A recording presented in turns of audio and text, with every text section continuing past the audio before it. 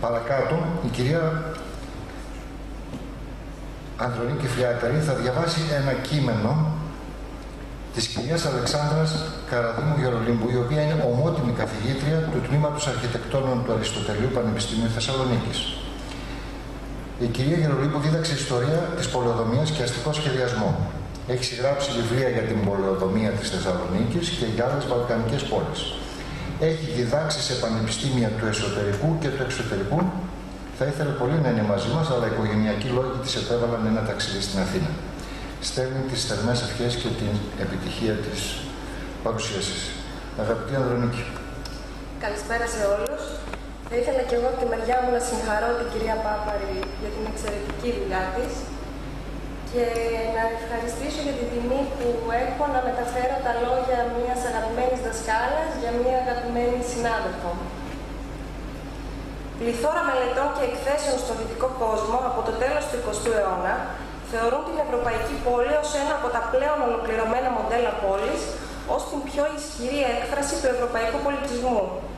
Ωστόσο, στις σύγχρονες συνθήκες παγκοσμιοποίησης, η πόλη εξελίσσεται αγνοώντας τα ιστορικά διαμορφωμένα κοινωνικοπολιτικά και πολιτισμικά χαρακτηριστικά της και τις πολεοδομικέ της ιδιοτυπίες. Απέναντι στον κίνδυνο αυτό, η ανάδειξη αξιοποίηση των ενδυομορφιών συνδυάζει σύγχρονες απαιτήσεις και ζητούμενα με τα δεδομένα μιας ζωντανής ταυτότητας που κατανοεί τα διακυβεύματα του παρόντος. Ανατέμοντας τις πολιτικές και τους μηχανισμούς που δημιουργήθηκαν κατά την εξέλιξη του θεσμού των πολιτιστικών πρωτευουσών της Ευρώπης, η αρχιτέκτον πολεοδόμος Αναστασία Πάπαρη εστιάζεται ιδιαίτερα στην πολυεπίπεδη σχέση που ανέπτυξαν οι διοργανωτές των πολιτιστικών πρωτευουσών με παρεμβάσεις αστικής κλίμακας, αναζητώντας στήριξη στα ιδιαίτερα χαρακτηριστικά των αστικών χώρων. Η πολυμορφία και η ευρηματικότητα των ιδεών που υιοθέτησε κάθε πρωτεύουσα συνθέτουν μια ιδιαίτερα ενδιαφέρουσα πηγή έμπνευσης και ενισχύουν τη σχέση του, του θεσμού της πολιτιστικής πρωτεύουσας με την φυσική δομή της πόλης. Σκοπεύοντας την βελτίωση των συνθήκων διαβίωσης του Ευρωπαίου πολίτη κατά την υλοποίηση του θεσμού, αναζητούνται δράσεις και παρεμβάσεις που ανταποκρίνονται στις ανάγκες για γενικές και ειδικές υποδομές. Ουσιαστική παράμετρος στην προσέγγιση αυτή είναι η έννοια του δημόσιου αστικού χώρου, η οποία κυριαρχεί σήμερα στη συζήτηση για το μέλλον της πόλης γενικά και της Ευρωπαϊκής πόλης ειδικότερα, σε μια χρονική περίοδο κατά την οποία σημαντικές αλλαγές επέρχονται στους καθιερωμένους στόχους και τρόπους του χωρικού σχεδιασμού. Η λεπτομερής και διεισδυτική έρευνα της δόκτωρος Αναστασίας Πάπαρη μελετά την εμπειρία τεσσάρων πολιτιστικών πρωτευουσών, Αθήνα 1985, Γλασκόβη 1990, Λισαβόνα 1994 και Θεσσαλονίκη 1997, επιλεγμένων για την ιδιομορφία της εξέλιξής τους, αλλά και για τις σημαντικές παρεμβάσεις τους, αστικές και αρχιτεκτονικές, με αφορμή τον θεσμό της πολιτιστικής πρωτεύουσας της Ευρώπης.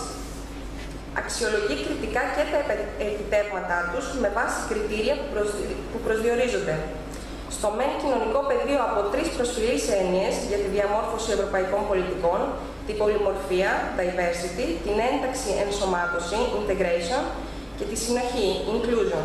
Στο δε χωρικό, από τις τρεις έννοιες γρίφους ακόμη της επιστήμης και τέχνης του αστικού σχεδιασμού, την αστικότητα, urbanity, την καταληπτότητα, intelligibility και την αστική χωρική ταυτότητα, urban special identity. Η ερευνήτρια μας προτείνει μια θεωρία θεμελίωσης και μια μέθοδο ανάλυσης αυτών των ενιών, τις οποίες αποσπά από το περιγραφικό πεδίο του ακαδημαϊκού λόγου για να τις καταστήσει εργαλείο ανάλυσης. Σε αυτή την πορεία, οι ιστορικοί μετασχηματισμοί των πόλων αποκτούν νόημα και μια συνεκτική γλώσσα διαχείρισής τους.